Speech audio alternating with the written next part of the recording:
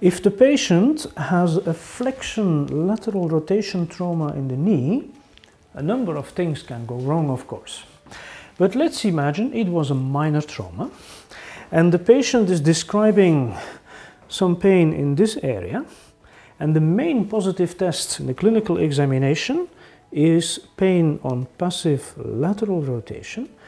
Then our first idea, in fact, is a sprain of the medial coronary ligament.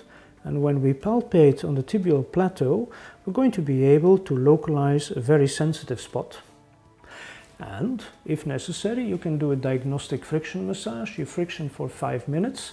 You repeat the test and see whether there is improvement, yes or no. It's also possible that the patient has a problem in the lateral coronary ligament and in that case, of course, medial rotation, passive medial rotation is going to be painful. But the more frequent lesion is going to be a lesion of the medial coronary ligament.